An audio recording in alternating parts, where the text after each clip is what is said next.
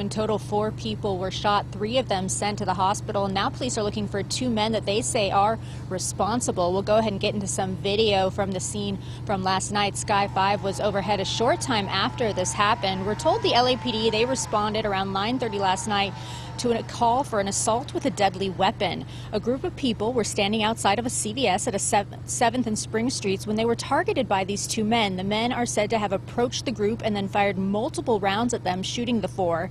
The reason why the two shot at the group isn't known. That is still under investigation. Police say the victims are an adult man who was transported to a local hospital in critical condition, a man and woman who were both transported in stable condition, and a man who suffered a graze wound who was treated at the scene.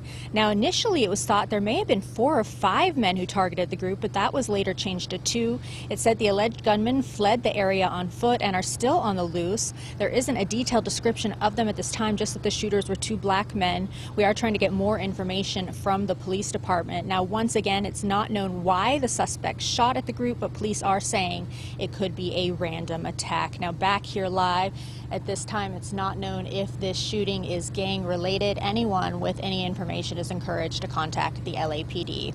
Reporting here in downtown, I'm Erin Myers. I'll send it back to you in the studio.